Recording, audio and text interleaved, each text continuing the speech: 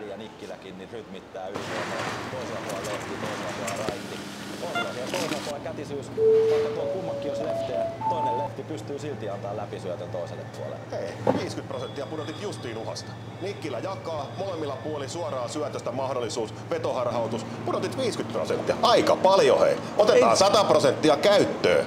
Ei se on 50 prosenttia. Onhan sulla siellä nyt muitakin pelaajia. Käytä tähän maaliin takana. Ja sieltä tuo yllätyksellisyyttä. Se tuo se liikaa sinne raitin mailaan. Nykyään jääkiekko on paljon muutakin kuin pelkkiä niitä kätisyyksien kattomista. Anna juniori näyttää setämiehelle, miten nykyään jääkiekko toimii. Sulla on leftin kaveri täällä vasemmalla siivellä. Se voi myös jakaa syötön tänne maalin taakse ja sieltä jatkaa toiselle puolelle. Ei aina tarvi hakea sitä helkutin läpisyöttöä tästä keskeltä. Ei, ei Junnu. Sähän puhut ihan eri asiasta nyt, mistä äsken puhuttiin. Pojat, pojat, pojat. Tosi hyvä pöhinä päällä. Jatketaan tästä ensi kerralla. Nyt on hyvä aika siirtyä meidän ensimmäiseen vieraaseen. Esa on ihan oikeassa.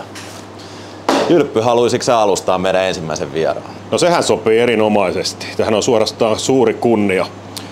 Ensimmäinen vierashan meillä menee erittäin pitkän HPK-historian